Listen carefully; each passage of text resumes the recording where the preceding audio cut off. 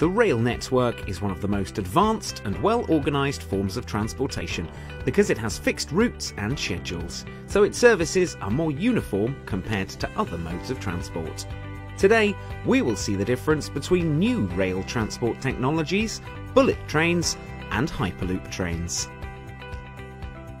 Before we get started, please follow and subscribe to us.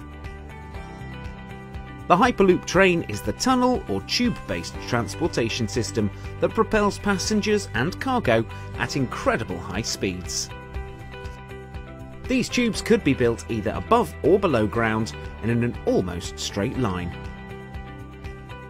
The tubes contain vacuum pumps and an engine that uses electric magnetic propulsion and magnetic levitation.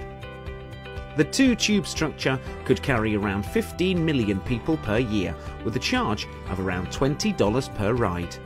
Bullet trains are the railway systems that run at speeds of 150 miles per hour or more and they charge 20 to $30 one way. You may be amazed to know that Japan started operating its famous Shinkansen bullet trains between Tokyo and Osaka in 1964. Countries like China, Japan, Germany, France, Spain, and many others have already built bullet train tracks. You may be amazed to know that China has more than 27,000 kilometres of high speed rail tracks. Most of the bullet trains run on conventional track, but that contain stronger materials. They are powered by overhead supply lines or roof mounted pantographs. Several companies are developing the Hyperloop systems, including Elon Musk's Hyperloop Transportation Technologies, Richard Branson's Virgin Hyperloop One, and Arrivo. According to Elon Musk, the Hyperloop is able to transport people as fast as 750 miles per hour, while China unveiled a maglev bullet train prototype that is capable of running at 372 miles per hour last year. The maglev bullet train was due to enter commercial production by 2021. It requires extensive testing. In terms of cost, the proposed San Francisco to Los Angeles Hyperloop would cost between 6 and 7.5 billion US dollars to build. But it would reduce the travel time between the two cities from over 10 hours to just 30 minutes. Compared to this, the California High Speed Rail was estimated to cost $68 billion. There are some big differences between the two trains. The Hyperloop is two to three times faster than a bullet train, and it would also be relatively cheaper.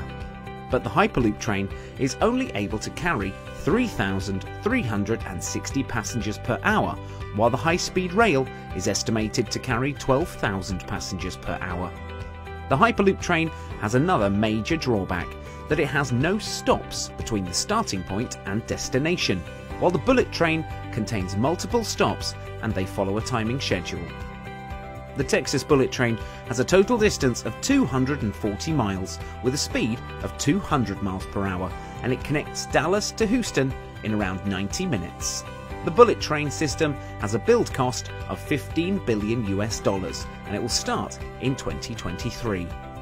Virgin Hyperloop 1 train covers the distance of 640 miles with a maximum speed of 700 miles per hour and it'll connect Dallas, Fort Worth, Houston, San Antonio and Austin. They aim to complete the Dallas to Houston section in just 46 minutes. This will start in 2021. That's all for today. I hope you like this information. For more interesting videos, follow and subscribe now, and make sure to share it. Stay connected, be updated.